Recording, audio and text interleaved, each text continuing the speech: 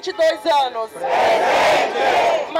Dos Santos Costa, 23 anos. Presente. Quanto mais vão ter que morrer?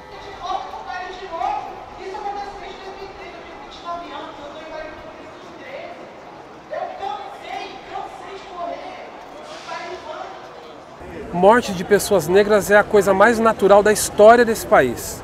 Há uma naturalização objetiva e mortes de pobres em favelas, sobretudo negros, não comovem a sociedade, a gente já sabe disso, da mesma maneira como o movimento negro reage a essas mortes que não doem na coletividade, mas que doem nas nossas famílias, na nossa história.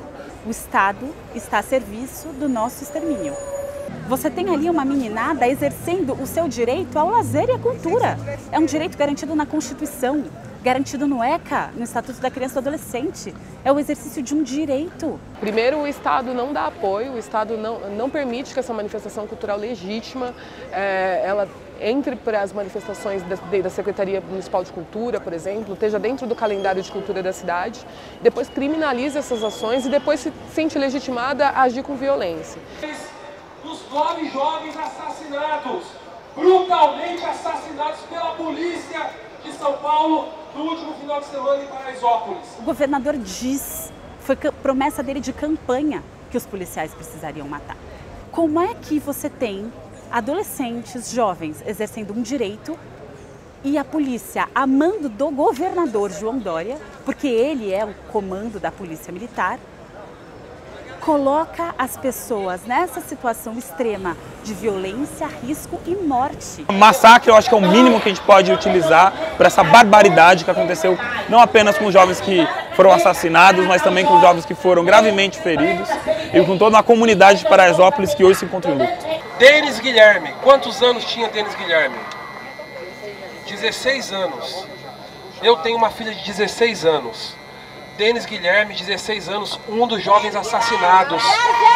Assassinados pela polícia e pela ordem do governador Dória. A dona Adriana, mãe dele, está aqui, não quer falar, a gente respeita isso, óbvio, mas ela está aqui para receber o nosso apoio, nosso apoio radical, absoluto. Há uma política de segurança pública genocida, ela é permanente, cotidiana, não diz respeito a governos, embora nesse governo de Dória ela seja mais explícita, assim como é mais explícita no governo Bolsonaro.